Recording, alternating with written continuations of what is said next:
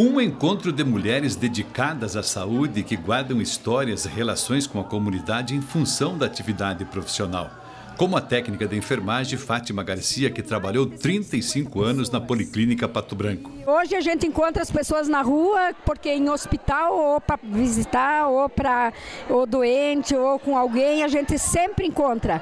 Hoje eu já sou bisavó de gente que eu vi nascer na Policlínica. Elas deram um nome ao grupo que as define na história recente. O nome do grupo é é Nós na Fita. Por que esse nome? Porque a gente é do tempo da fita, da fita cassete, né? São todas mais de idade, mais de 50 anos, com 20, mais de 20 anos de trabalho na área da saúde, né? Então, por isso surgiu esse nome. Além da setembrina, a Cecília também ajudou na organização do encontro que reuniu 70 ex-servidores da Policlínica Pato Branco. São pessoas identificadas com a profissão. Trabalhar na enfermagem, trabalhar com pessoas doentes, tem que ter muito equilíbrio emocional e muito equilíbrio com a atitude dos pacientes e dos, dos familiares também. Porque quem chega lá chega sempre com um problema. Então tu tem que estar sempre bem humorado e entender que o problema não é teu, é deles, mas você tem que entender que ele precisa de ajuda. A gente está ali sendo pago para atender e atender bem. Trabalhar na saúde é um desafio diário. Não é fácil, mas a gente escolheu assim, esse caminho, essa profissão, então a gente tem que fazer jus daquilo que a gente escolheu, com muito carinho e muita responsabilidade.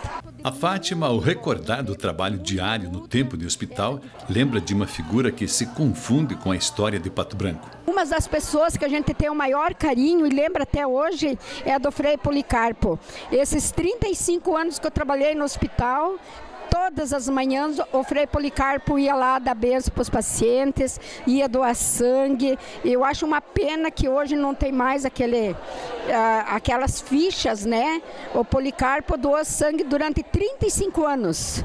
Tinha um paciente no centro cirúrgico precisando de sangue, a gente ligava, ele vinha correndo. Para as profissionais, a identidade com o trabalho é tanta que não tem dúvida, fariam tudo de novo. Eu não me arrependo, eu amo meus pacientinhos até hoje. Se eu pudesse, eu vou. Se eu tivesse menos idade, eu ia voltar tudo de novo. começaria tudo de novo. Graças a Deus, assim, foi um tempo de muito, muito, muito bom. Minha profissão seria essa mesma.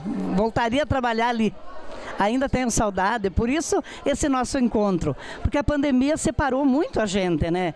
Travou a gente de visitar as pessoas e de se encontrar.